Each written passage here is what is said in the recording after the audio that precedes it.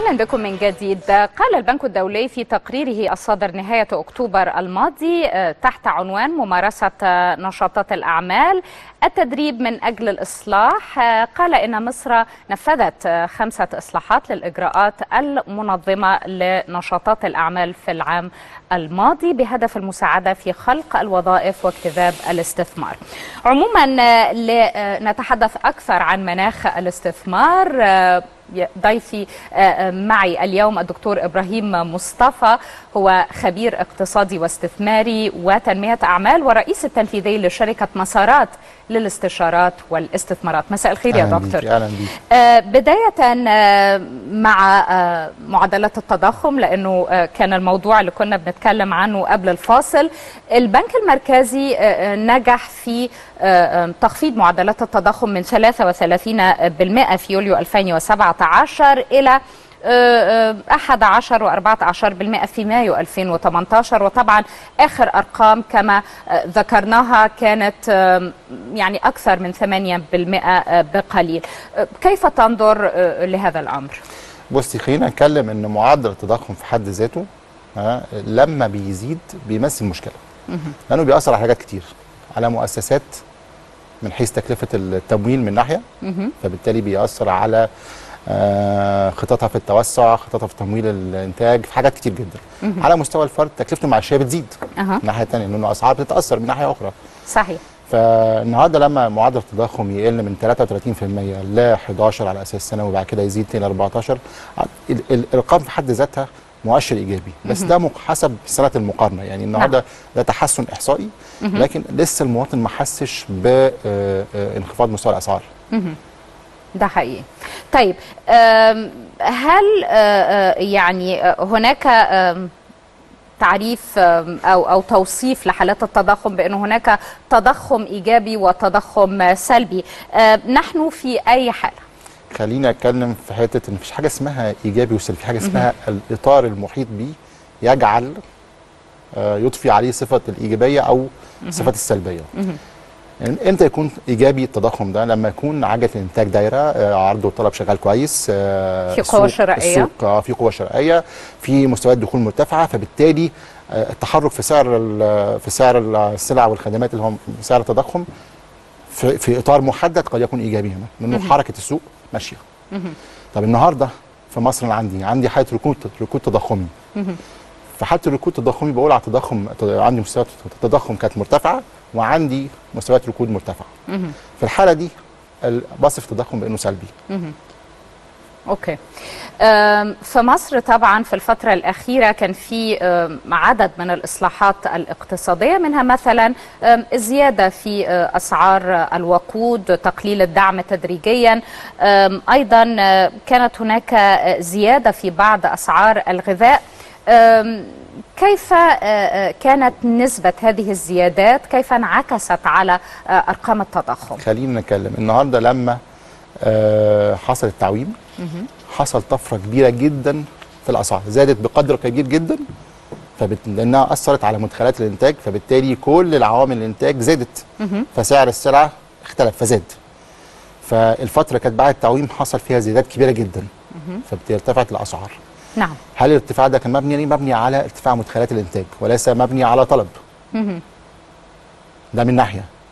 فلما تيجي النهارده نقارن بعدها بسنة ثانية آه الكلام ده لو قلنا في 2017 النهارده في 2018 معدل لو عرفنا التضخم هو معدل التغير في الأسعار.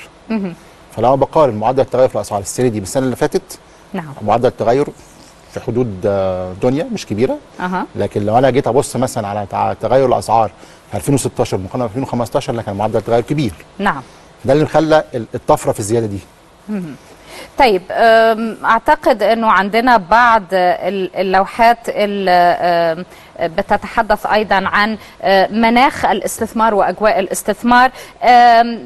دعني أسألك عن أبرز الإحصاءات التي لمستها في الفترة الأخيرة والتي أثرت بشكل مباشر في تحسين مناخ الاستثمار. خليني أهم التقارير اللي بتطلع بتقيس مناخ الاستثمار من الناحية الإجرائية. آه مثلا ال ال ال الجراف ده الرسم ده بيوضح آه، التطور على آه، على مستوى مؤشرات تقرير البنك الدولي الخاص بسهولة أداء الأعمال. آه، لو بصينا في أول عمود ده 2010 تمام؟ آه، مقارنة بآخر ثلاث سنوات. أيوه. يعني 16 17 18 في 2010 كان أحسن أداء ليكي على مستوى مؤشرات تقرير بيئه الاستثمار. ولذلك هو آه، سنة الأساس آه يعني. ففي تأسيس الشركات كنت 18 على على مستوى العالم. فحصل تراجع بعد كده وصلت 39 على مستوى العالم. ثم في آخر سنتين تراجع بشكل كبير يعني 103 ثم 109 سنتين على التوالي.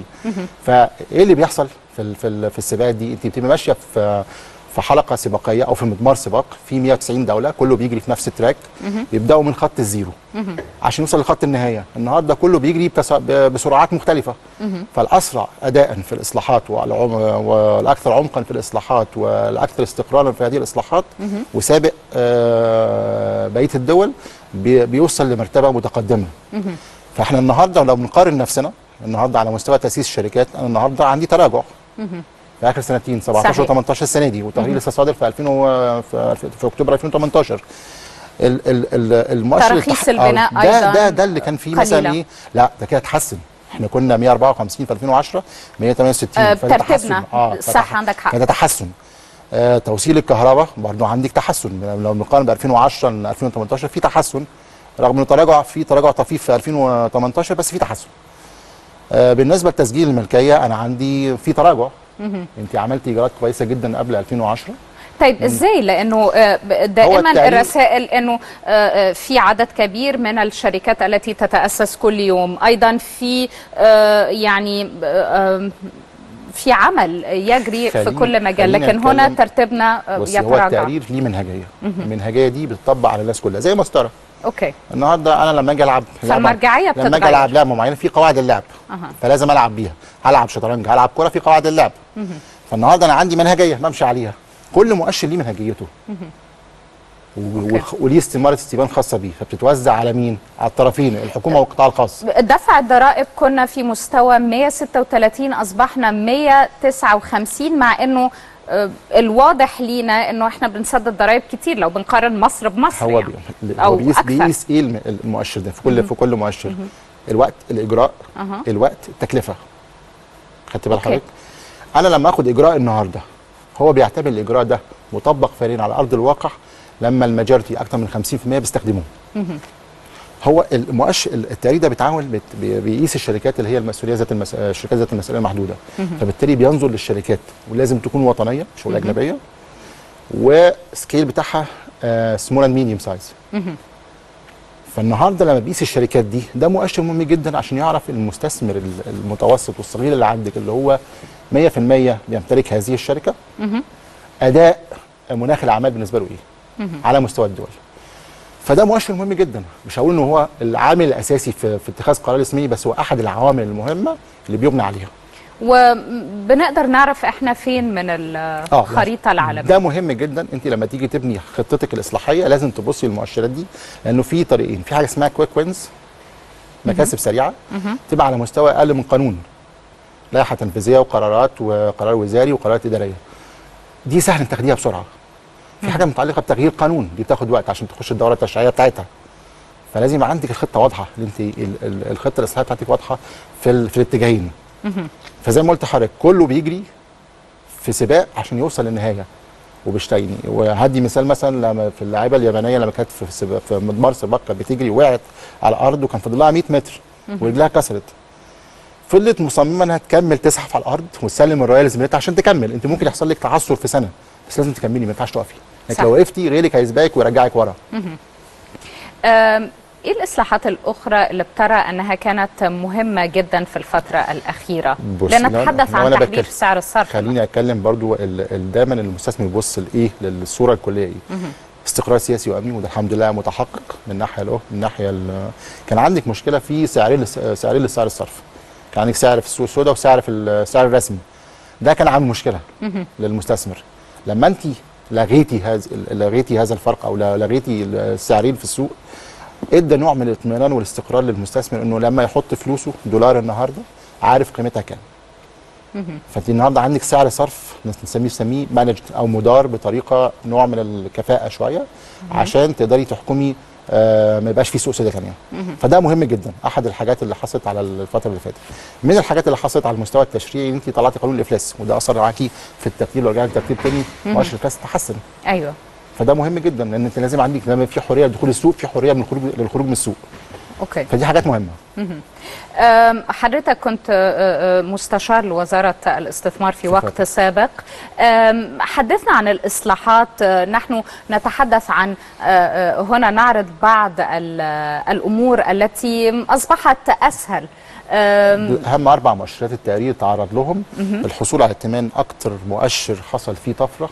عندك حوالي 30 مركز نط ودي حاجة مهمة جدا. لأنك انت صلحتي في كذا حاجة. من ضمنها قانون آه آه، الضمانات المنقولة.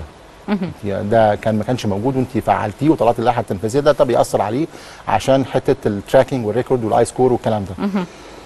فدي من اتفضلي. تسوية حالات الإفلاس بس ب ب بتذكر أنه أم، أصبحنا في ال- المرتبة 101 وكنا في 2010 131 طبقا لل للتقرير اللي للإحصائية. كنا بنعرضه من ما هو عشان من. إحنا أصدرنا قانون الإفلاس.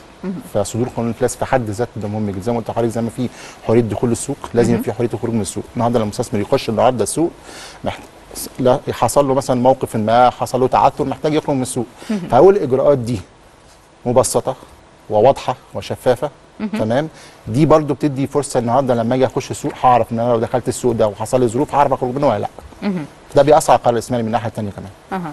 مع كل الخطوات التي اتخذناها خطوات الإصلاح واللي الرئيس عبر عنها في آه، آه، يعني مجالات مختلفة بأنها قرارات صعبة وقاسية لكننا اتخذناها بالفعل. لكننا لا نجد ال- الاستثمار الأجنبي المباشر في مستويات التي كنا نستهدفها. لماذا؟ أقول الفترة اللي هي من بعد 2010 من 2011 لغاية فترة قريبة انت حصل لك نوع من الاهتزاز للسوق. مصر تأثرت كثيرا بأحداث سياسية واقتصادية أثرت عليها من حيث الأداء الاقتصادي والأداء السياسي. فلما رجعتي يحصل عندك استقرار سياسي كنت محتاجة تصلحي البيت من داخل تاني. نتيجة الأحداث التي حصلت بعد 2011 أكيد بتاخد منك وقت. في عندك تحديات داخلية وتحديات خارجية. الاقتصاد العالمي فيه تحديات. النهارده أنا مثلا لما بتكلم على الاقتصاد العالمي حجم الاستثمارات بتقل فيه. ليه؟ لأن آه، التوتر ما بين أمريكا والصين ده عامل مهم جدا. اتنين آه، حركة ال- الت- التدفق الاستثمارات راحه لل hot money أكتر من ال greenfield من ناحية تانية. الحاجة الثالثه إن آه، ال- ال- بيسموه؟ التوقع بتاع الناس ال sense بتاع الناس اللي هو التخوف اللي هو شاف ال- الاقتصاد رايح لتباطؤ أكتر. ال sentiment. آه بالظبط اللي هو آه بالظبط يعني إحساس المستثمر تجاه الاقتصاد تحركه إزاي العالمي لو أنا كشركة عالمية النهارده وشاف الاقتصاد شاف رؤية الاقتصاد في تباطؤ أو بيتجه نحو التباطؤ أكيد ده هيأثر عليا من حيث إن أنا أبقى reluctant متردد في اتخاذ قرار استثماري أو متردد في التوسع أو متردد في اتخاذ قرار معين. فالأحداث الاقتصادية أو الأحداث اللي بتحيط فيك عالميا واقليميا وداخليا بتأثر عليك من ناحيه تانية. أنا بشكر حضرتك. شكرا جزيلا الدكتور إبراهيم مصطفى الخبير الاقتصادي والرئيس التنفيذي لشركة مسارات. شكرا جزيلا لك. مشاهدينا الكرام آه، هكذا آه، ينتهي لقائي بالدكتور إبراهيم. آه، لكن بعد فصل قصير تتابعون لقاء كنا أجريناه مع الأستاذ مجدي حسن مدير عام ماستر كارد في مصر وباكستان. وتحدثنا عن التجارة الإلكترونية دور بطاقات الائتمان والبطاقات بكل أنواعها في الحقيقة في هذا المجال.